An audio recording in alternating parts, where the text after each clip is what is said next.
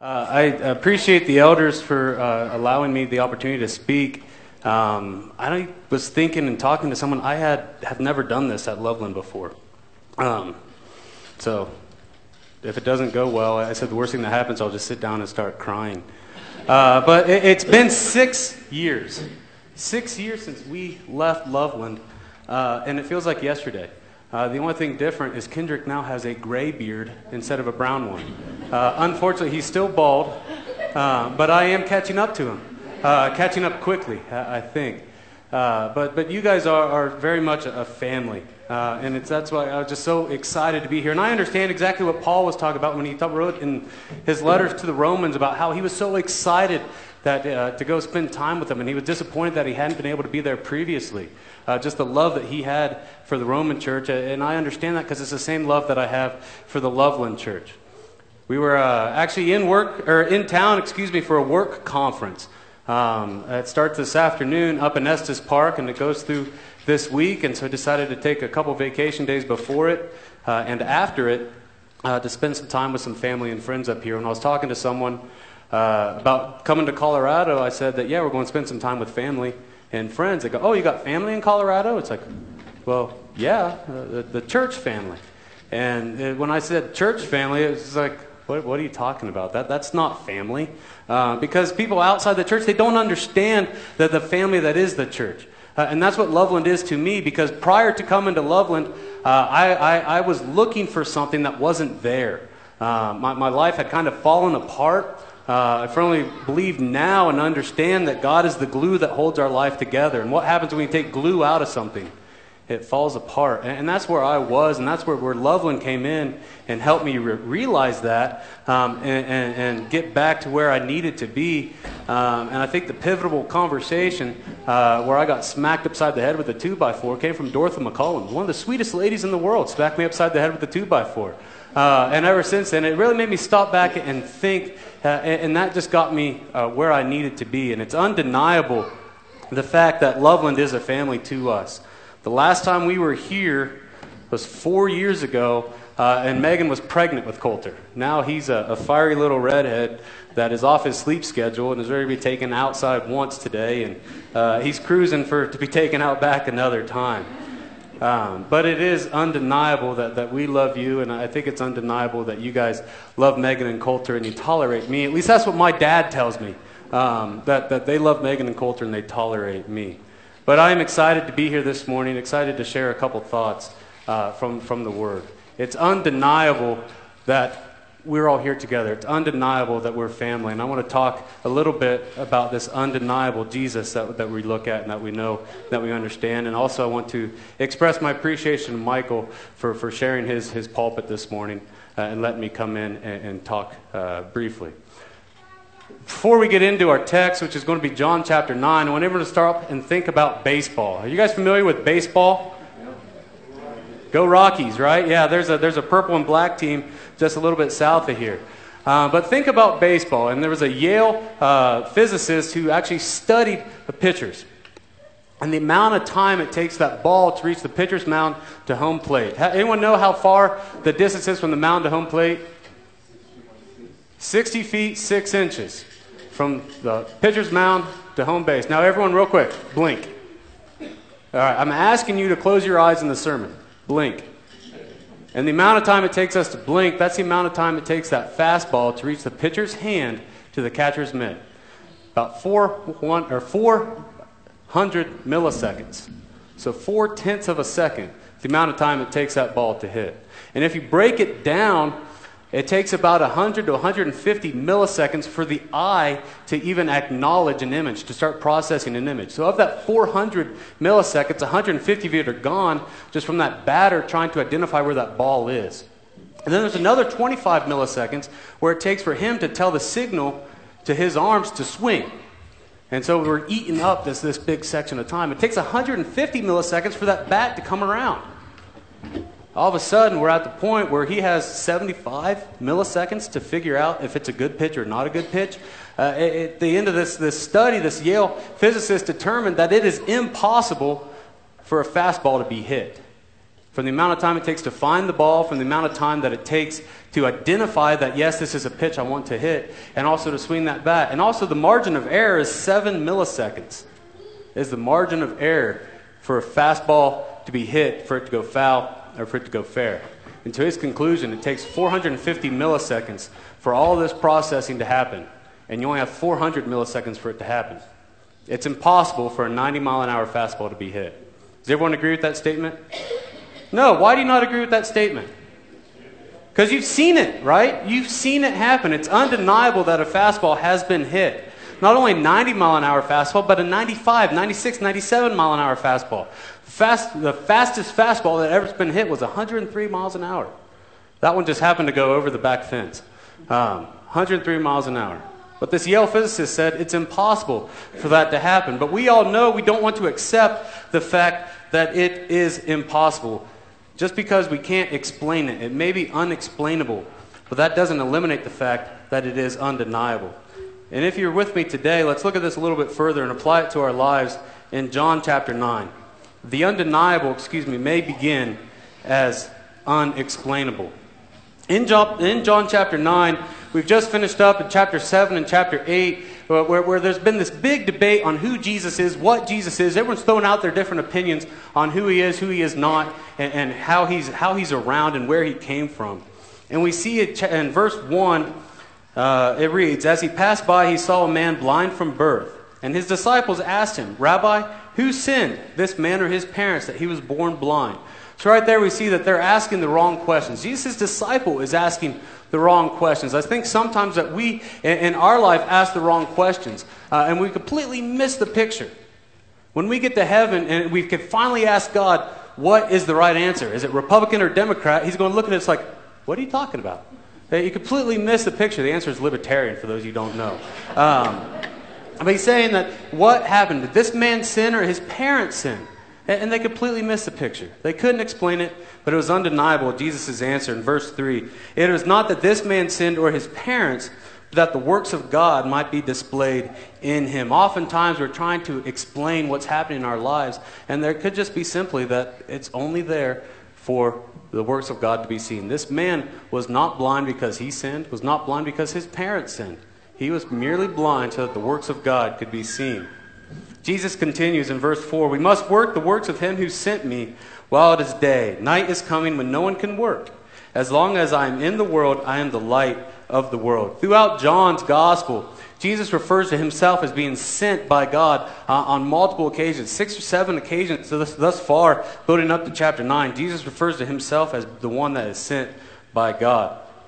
And it's interesting here what Jesus does. And this, the, the side note, it's probably one of the funniest stories in the entire gospel.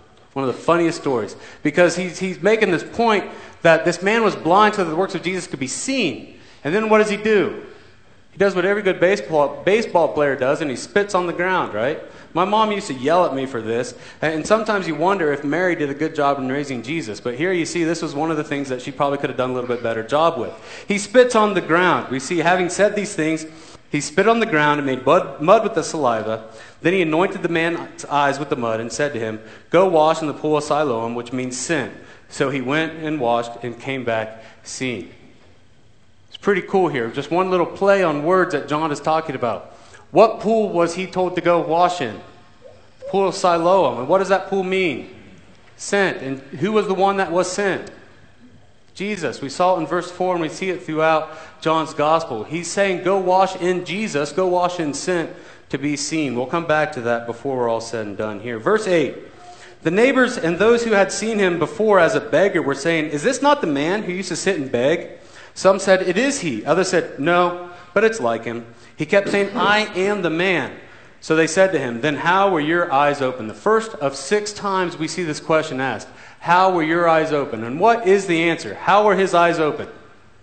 Jesus. How were his eyes open? Jesus. But that wasn't good enough here. They're trying to explain uh, Jesus away. Oftentimes in our life, we try to explain God away. And oftentimes it's there. It's point blank, it's undeniable. Even though we can't explain it, it's undeniable.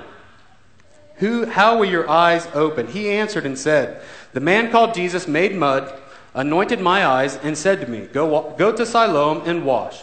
So I went and washed and received my sight. Plain and simple. That's what happened. Was that good enough answer?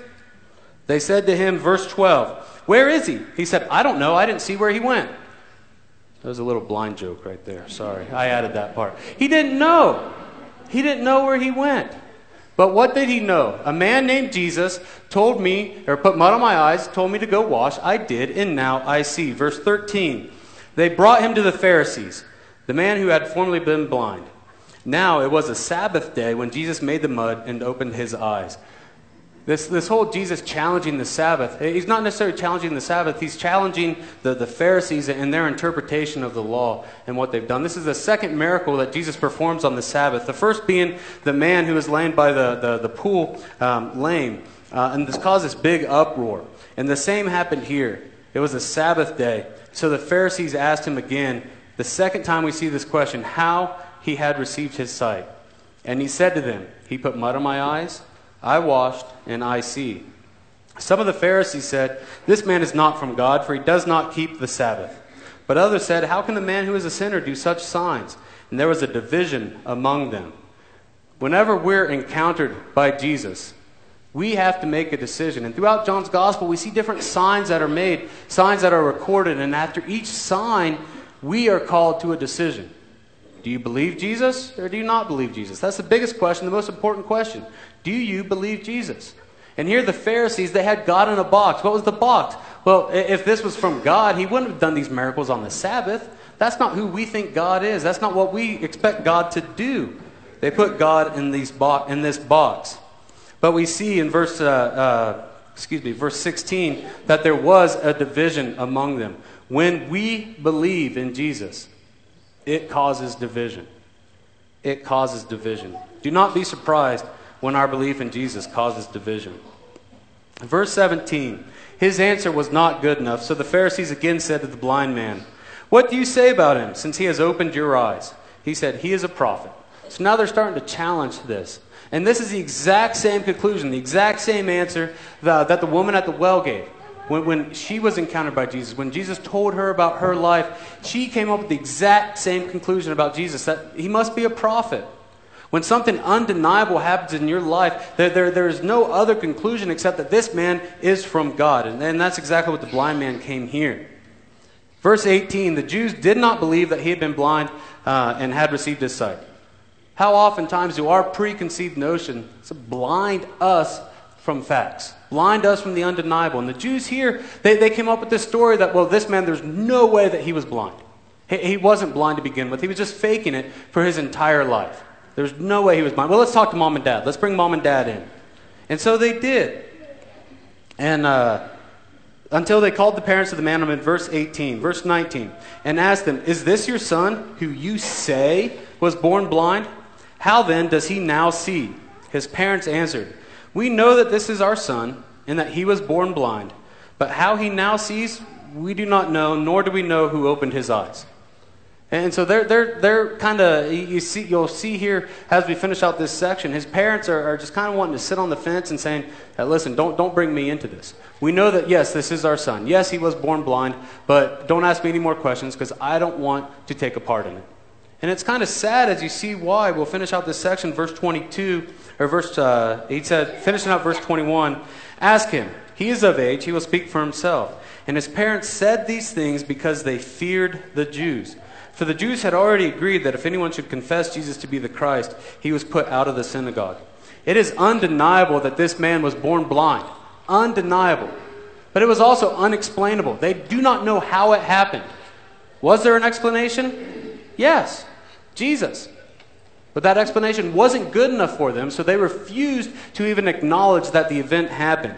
It goes back to our baseball illustration. If I don't understand how a pitcher or how a batter, excuse me, can hit a 90 mile an hour fastball, I'm just going to deny the fact that it ever happens. No one can ever do it because I don't understand it.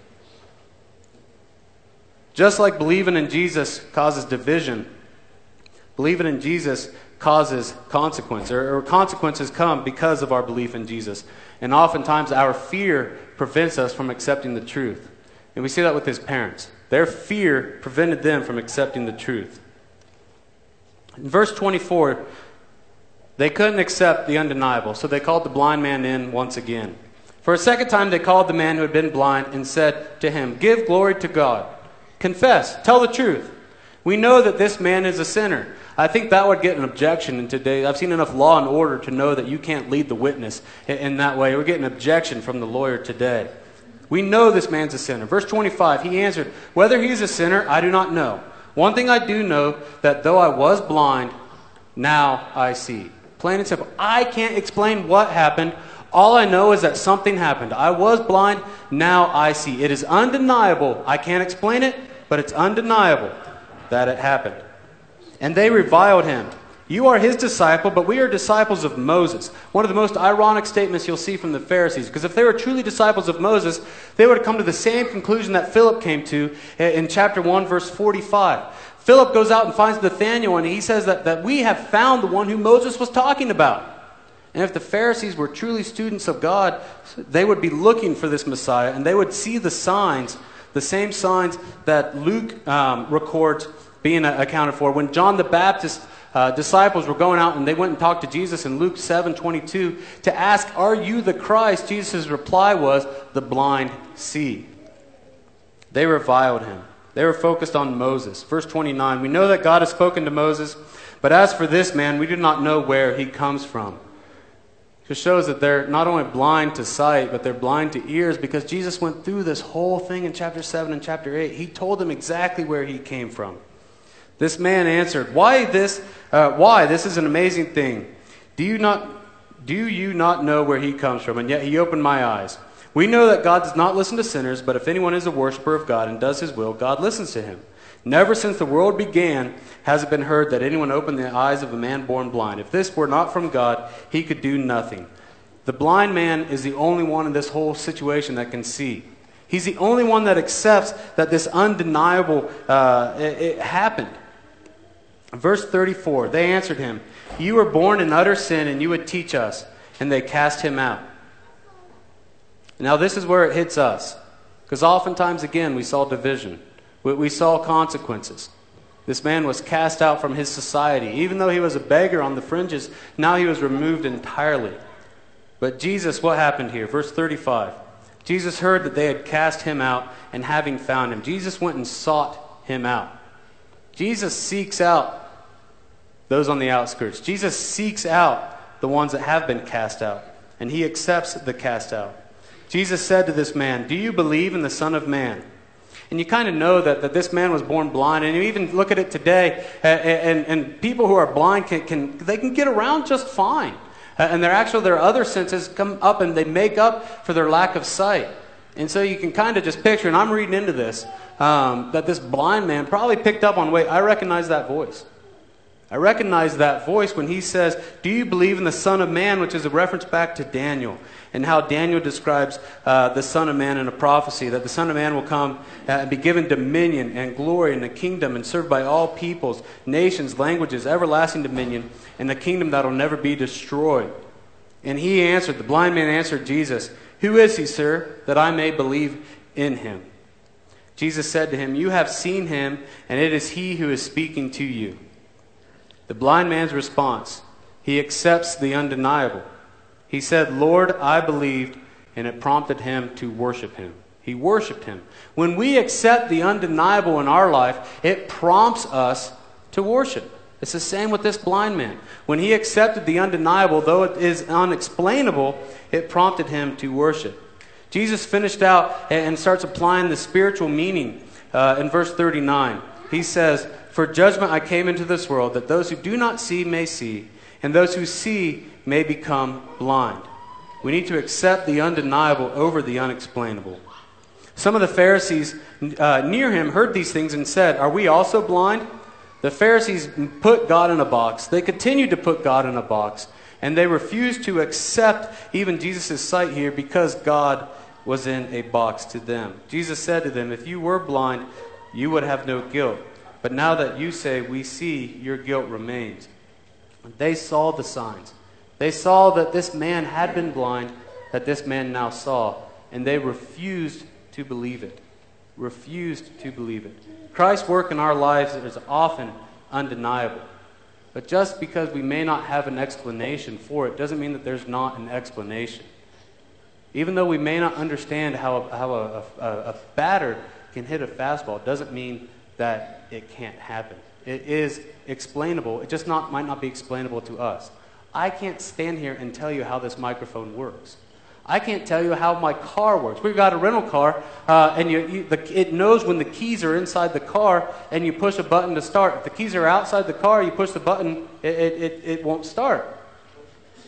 I don't know how. Um, I guess it's a good way to make sure the keys are with you. Uh, but the same with we got here on a plane. I have never seen someone say, I'm going to refuse to get on that airplane until I firmly, expl- or until you can explain to me to where I can understand how that plane works. If I remember back to high school physics, I know it has something to do with this guy Bernoulli uh, and a Venturi effect, but, but I have no idea how it works. But it's undeniable that it does work.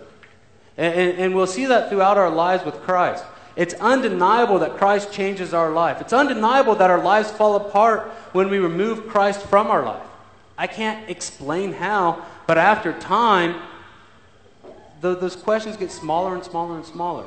You, you get an understanding even if you don't get an explanation. And the same with an airplane, the same with a, a pitcher and a batter. That while I may not understand it, while I may not be able to explain it, doesn't mean it's unexplainable to someone who's a lot smarter than me. It's undeniable that we have a hole in our heart. It's undeniable that the hole can only be filled with Jesus. It's undeniable that we will remain blind if we do not wash in Jesus. It's undeniable that no matter how hard you try, money, possessions, work, hobbies, people, family, friends, children will not fill that Jesus sized hole that's in our hearts. It's undeniable. And it's on that note that I'd like to finish up today. Look at your life. Look at, at, what you've done. And what did this blind man do? When he was confronted, when he had an opportunity to, to, to tell someone, what did he say? Did he go into the nuts and bolts? Did he have the answer to every single question as to how Jesus changed his life, how Jesus healed him? No, he just said plain and simple. He told me, he put mud on my eyes, he told me to wash, and now I see. It's the same in our life. We may not have all the answers, but that should not stop us from saying that Jesus is the reason why I live the life, the, the life I live. Jesus is the reason that I have peace. Jesus is the reason that I'm content. Jesus is the reason that I'm happy no matter what happens. Jesus is the reason. And it's undeniable that this Jesus, as Paul reports in Philippians 2, even though he was in the form of God, he did not count equality with God a thing to be grasped, but he emptied himself by taking the form of a servant. Being born in the likeness of men, and being found in human form, he humbled himself by becoming obedient to the point of death, even death on a cross. Therefore, God has highly exalted him and bestowed on him the name that is above every name, so that the name of Jesus, we should do just what the blind man did. Every knee should bow in heaven and earth and under the earth, and every tongue confess that Jesus Christ is Lord, to the glory of God the Father. It is our custom and it is our tradition that if there is something that, that you need some help with, if, if there uh, is some blindness in your life that Jesus can help you see, if there are, are, are struggles that you have, if there's anything that you need from the church, ask. Don't wait for Dorothy McCollum to hit you upside with the head with a 2 by 4 But if you need a 2 by 4 we could probably find some. It's undeniable that Jesus is in our lives. It's undeniable in my life because of you guys. And I appreciate Loveland for that. I thank you for your time. And if there is a need, please, please come forward now as we stand and as we sing together.